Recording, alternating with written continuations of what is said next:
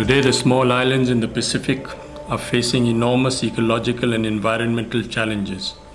The alarming rise in sea levels is endangering their very survival. Climate change is slowly destroying their way of life. Their simple lives are being threatened. Food is getting scarce because they are so dependent on transportation by sea, and that is expensive and unreliable. For lighting, the poor depend on kerosene to come from the main islands. Often it comes after long periods because the distance is so great. When they have the money, they use kerosene lamps, torches, and improvised gadgets, but they cannot afford it.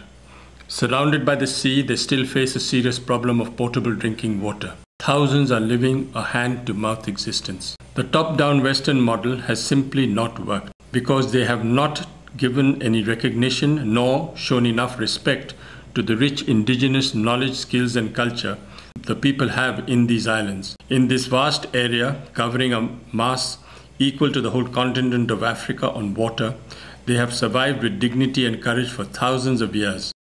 But so called developed countries have made them believe they have neither the skills nor the capacity and competence to cope with sophisticated technology or tackle the massive problems of livelihoods, literacy, health, and disaster management on their own. If the men cannot think of a sensible and practical way out, it was time the rural, ordinary women took over and set an example. Traditional island culture holds grandmothers in high esteem. In 2010 2011, two illiterate grandmothers were selected from the slums in the Isleli area in Sopu, Tonga, came to India under the Government of India ITEC program to be trained as solar engineers. It was an incredible challenge. Could they solar electrify their own community when they came back? The results were beyond expectations. The two ordinary women from the slums became unlikely heroes. When the Speaker of the Indian Parliament recently visited Tonga, she applauded them as the first solar engineers of Tonga. It became national news. In March 2012, with the collaboration of the government of Fiji, 10 grandmothers from non electrified villages in the islands of Viti Levu, Vanuatu, and Kadavu arrived in the Barefoot College. Without using the written or spoken word, only sign language, six months later, they are now happy, bubbly, confident solar engineers.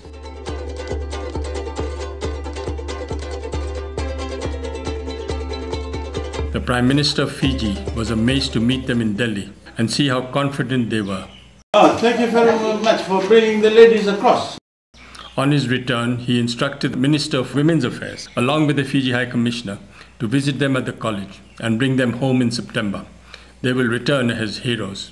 That in itself is uh, an indication of uh, the kind of uh, capacity building, particularly for women, that uh, the Barefoot College is um, uh, is providing. The, the, visit to the college has been an amazing one. It's an eye opener, and um, there's a lot to be to be learned from the programs that the Barefoot uh, College is offering to the women and to the underprivileged. With such a small beginning, the idea of empowering women, indeed most of them illiterate grandmothers, have snowballed across the Pacific Islands. Totally bewildered but delighted by this human down to earth, bottom up, grassroots approach, communities took major decisions like agreeing to pay a monthly contribution for repair and maintenance, donate a building to establish a rural electronic workshop, form village committees to collect, control, and manage the money for spares and replacements of batteries, and select the grandmothers to come to India in September 2012. The 21 square kilometer island of Nauru has barely survived the ravages of an unchecked mining boom. It carries today the scars of its brief prosperity written on its landscape. The isolated communities are shaken and desperately looking for alternatives. From these very communities, where there is high unemployment and so little reason for hope, four gutsy grandmothers have been selected, among them from Nibok district, from Annaba district to be the first women solar engineers of Nauru. Very innovative and fact is yeah, it's, I it's, think it's just fantastic. yeah, it's just awesome. I like the part that you've actually targeted to grandmothers because there are not Yeah. a lot of mm. opportunities that are Yeah, for especially. grandmothers. There are a lot of like opportunities for women, young women, like you know, yeah, yeah. all these potential young women to do a lot of stuff, but not grandmothers. And Yeah. that was different, and that made it more exciting because it was just different and it was uh, unique for us. From Kiribati, remote islands were selected to identify grandmothers.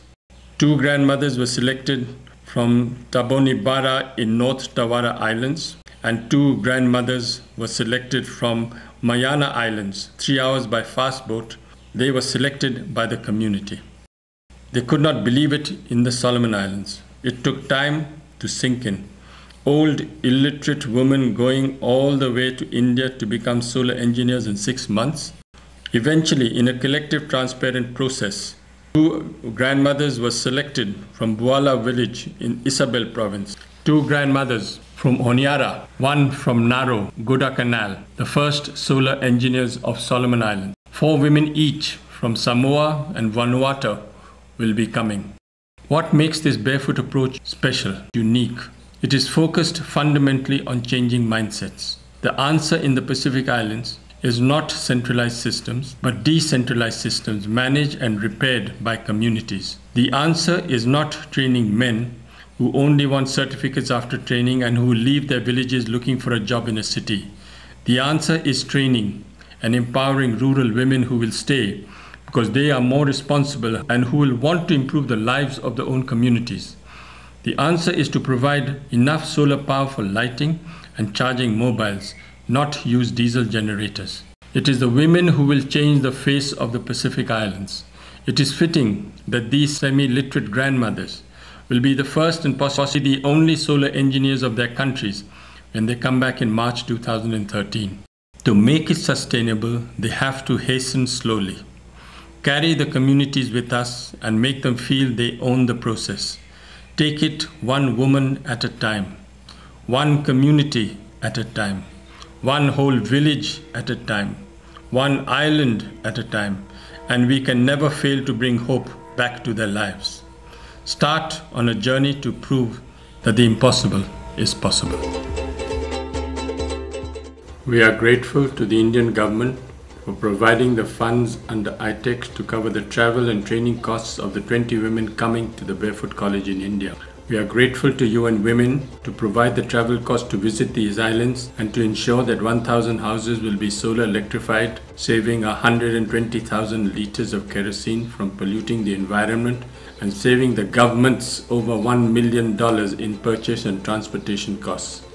We are grateful to, to EF Small Grants program who have agreed to cover the costs of the hardware in some islands. We are grateful to UNESCO for considering to establish community empowerment centers in the Pacific.